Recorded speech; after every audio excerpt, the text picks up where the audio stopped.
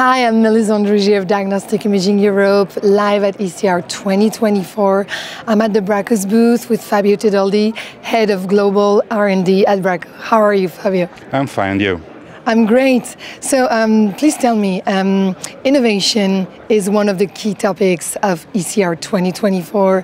For example, the innovation focus program. So I was wondering, what does innovation mean to Bracco? Mm, what are you currently doing in this respect? Okay, so um, thank you for uh, for this question. It's a very good one because uh, innovation is not one only not only the, one of the major topic for uh, for ECR, but it's one of the major topic for us as uh, as well.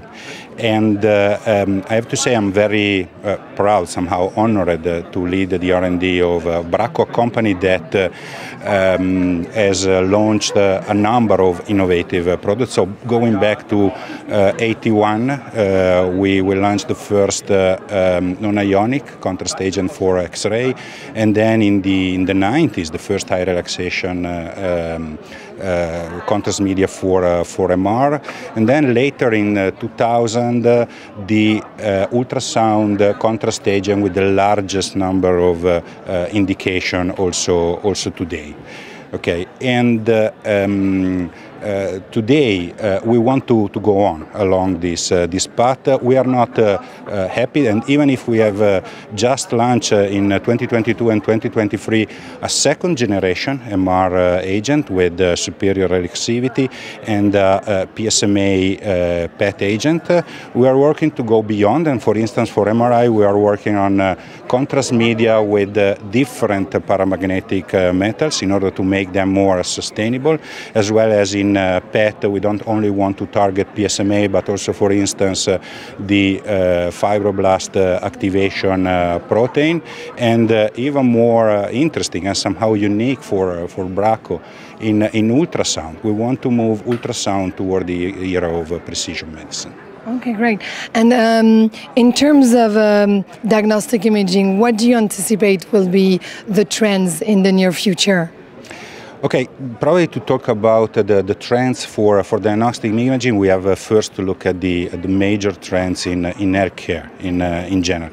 So, first of all, for me, uh, we have to consider that uh, the, the aging of the population that will force somehow to have more examination to take care of more older people, and there will be a reduced number of people paying for, for that. So, one of our mottos somehow is that uh, any patient that needs a contrast enhanced procedure must have a contrast enhanced procedure. And that's not an easy challenge mm. today because it means that in our uh, manufacturing we have to adopt very innovative uh, processes and we have to make uh, all this uh, sustainable mm. somehow. And uh, that means that we are working both in the manufacturing, in the primary packaging, in the secondary packaging, in the recovery of the unused material, as well as uh, we are also sponsoring programs for the recovery of uh, um, iodinated agent and gadolinium-based contrast agent from the urine of the patient in a, uh, let's say, circular economy uh, perspective. This one is one of the topics, so sustainability, if you want. Mm -hmm. The other big trend in healthcare, in, in medicine, is precision. So there are a number of, uh, well, with all the knowledge that has been accumulated, uh, we have now a number of new solutions like uh, immunotherapy or uh, uh, therapies with uh, radioisotope and, and so on. But again, in order to make them sustainable, we need diagnostic. Maybe not only in vivo diagnostic, which are our field, but diagnostic in general, in vitro and, and in vivo, to select those patients that can benefit, to avoid administering drugs which are uh, unuseful and creating unuseful uh, uh, cost somehow. So mm. we have a number of programs in precision medicine, as said, starting from um, nuclear medicine that mm. has the sensitivity to be the um, election technique for, uh, for, for that. So on PSMA, we are not only uh, working on diagnostic, but also to use the same time of vectors to create therapeutic drugs.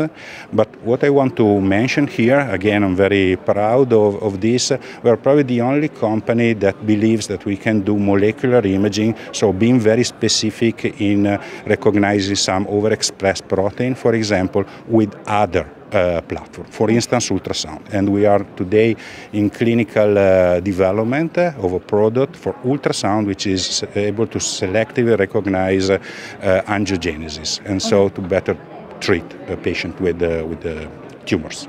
Great, wonderful. Thank you so much, Fabio, for your time. Thank you very much. That was Mel Rouger signing up for Diagnostic Imaging Europe.